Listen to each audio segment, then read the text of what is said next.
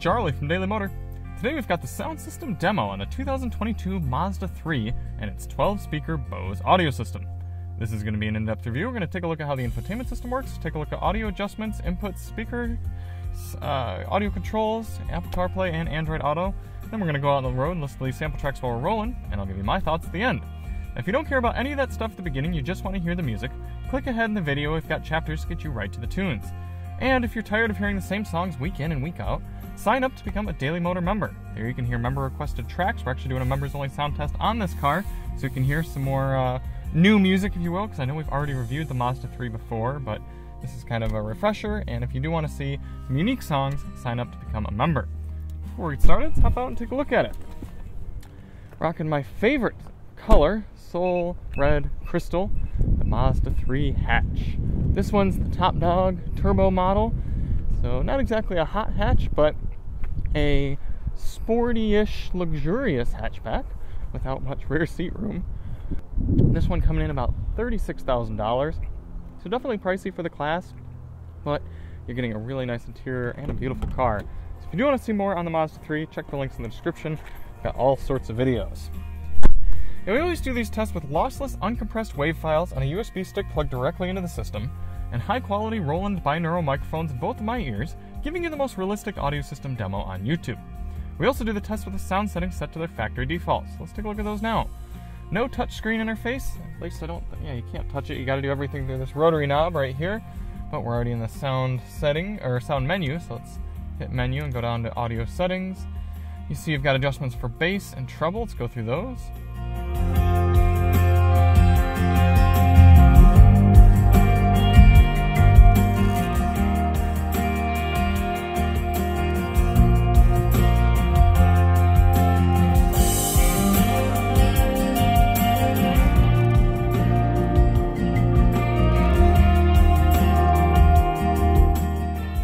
Below that, you've got adjustments for front, rear, left, right, fader, and balance. There's a Bose stereo mode. For some reason, I can't adjust it. I'm not exactly sure why. Maybe it's because of my audio input. Bose center point adjustments, so it creates a virtual surround sound listening experience. You can adjust those in different settings. Let's see, let's go off. Oh, there's the stereo mode adjustment.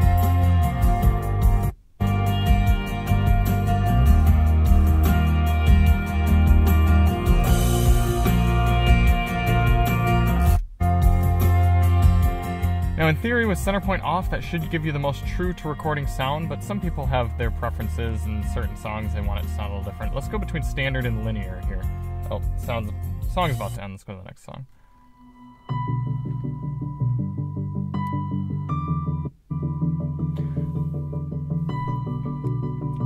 So in theory, linear should sound a little bit more in front of you. Standard should be a little bit more around you. But let's see, once the song gets going, we'll toggle back and forth. Other than that, you've got Audio Pilot, which will compensate for road noise and wind noise as you get going faster. We're to leave that off.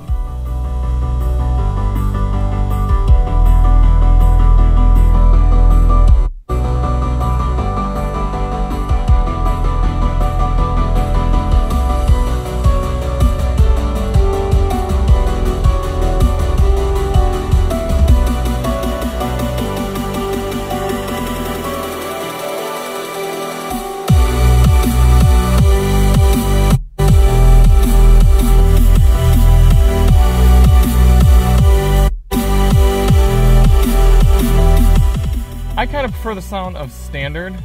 Music seems a little bit more full that way.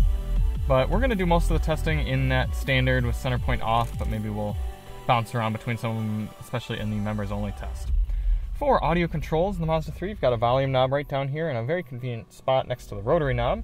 You've also got volume on the left side of the steering wheel. For track selection, I like this. You can actually move the rotary knob back and forth. We tested an Audi A3 recently, and it had a, a scroller uh, adjustment, if you will, for volume. And I much prefer having a knob like this, and then you can just kind of joystick the knob back and forth to adjust tracks. You can also adjust tracks from the screen here, can you? Yeah, you can sort of choose them by scrolling. And then the left side of the steering wheel as well, you've got seek buttons. Audio inputs in the Mazda 3 of your standard AM, FM, Sirius XM satellite radio. You have Pandora streaming, Bluetooth, and two USB A ports, and that is it. So what does that mean you're missing? Sorry, you also have wireless car. You have wired CarPlay and Android Auto through those ports, but you're missing wireless Apple CarPlay and Android Auto. You're missing a 3.5 millimeter auxiliary input jack and USB Type C's as well. Plus, I don't know how many people necessarily use Pandora versus things like Spotify or Apple Music or Amazon Music. So I'm sure a certain number of people will be satisfied with Pandora, but probably not the majority. Speaker locations. As I said, this is a 12 speaker system, which is pretty good for a car this size. Starting in the bottom left, you've got built-in speakers way down here, kind of doing some bass input. So that's one, two mid-range, three tweeter, four center up there, five, six, seven. Come on back. Back you've got eight, nine, and should have 10, 11 in the D pillars there, and then 12 subwoofer under the floor right there. See if we can get another view at those D pillar speakers. There they are, right there. I guess those are technically C pillar, C pillar speakers. Apple CarPlay and Android Auto demos. Let's start off with Apple CarPlay. Now let's see if we can use the top USB port. Earlier the top USB port wasn't working for my USB stick, but we'll see if it works for phone projection. There we go, CarPlay comes right up, takes up the whole screen. It is pretty far away though, you see here, from my driver's seating position, but it's a good resolution, and you do have to navigate things with the rotary knob. You gotta kind of scroll through, let's bring up, there's mapping, there, YouTube music, coming up. You can scroll this knob pretty quickly, so it actually is pretty quick to navigate around things. Here's your settings screen and your home. All right, how about Android Auto? I should also point out that it is nice that you can have the USB music playing and be using your phone projection. All right, Android Auto coming up, and it's actually the widescreen Android Auto, which is pretty cool. So you see on the right side there, we've got our music selection, and then the left has our maps. If we were to go over to the music app, YouTube Music, then it would flip flop them, and I'd have navigation on the right and YouTube Music on the left. I think it's a pretty cool setup for the cars that support it versus Apple CarPlay. I think it works pretty nice. And then you've got your home screen. Coming up, your list of apps. Come on. There we go. And we'll scroll down to settings. Okay, well, let's get this stuff put away and get out on the road.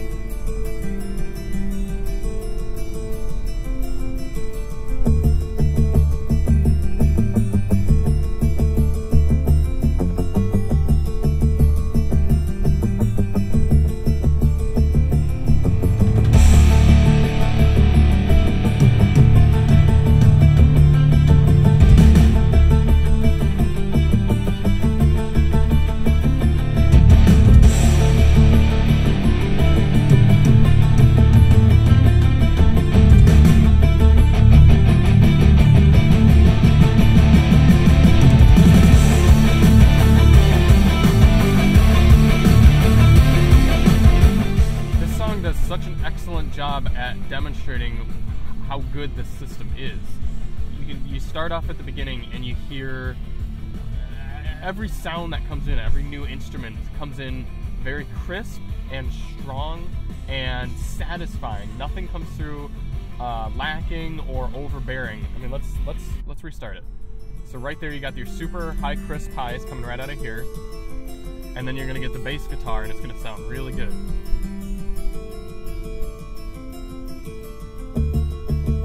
Very uh, a little bit forward facing, and just a very solid, satisfying sound. So you got two, you got the high and the low, and then everything comes in, but it's not harsh.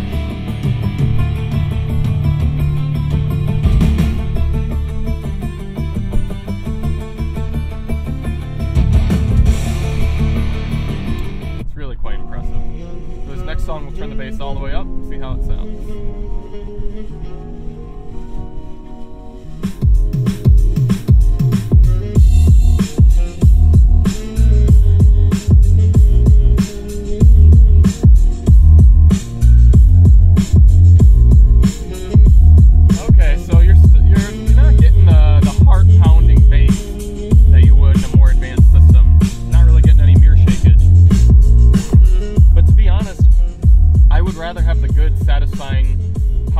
Mid-range basses than that big, heavy-hitting low low bass.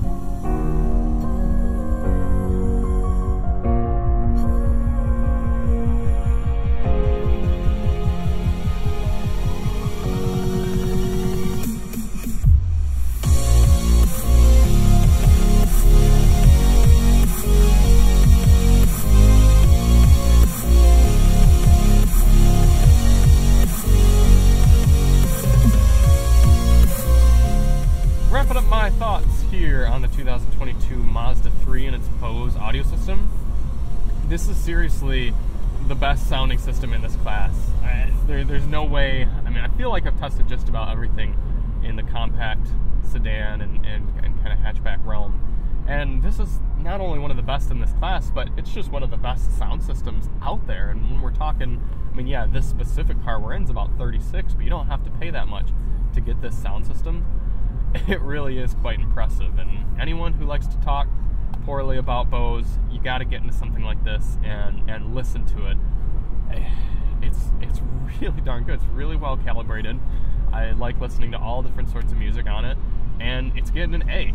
It's really impressive. I mean, yeah, it's it's not quite that S tier level of, of goosebumps and, and hitting every single element. Like I said, the, the, the low end basses are a little bit lacking, but other than that, it's extremely well balanced. I could go for a mid range adjustment. It's a little disappointing that there that's just bass and treble for EQ, but the good thing is you don't need to adjust the mid range because it sounds really good already. So thank you all so much for watching. I know a lot of people have watched the previous version of this test. Um, nothing really different with 2022. Just wanted to kind of reiterate that it's still great. So thank you all so much for watching, and we'll see you on the next one. I'm Charlie from Daily Motor, and as always,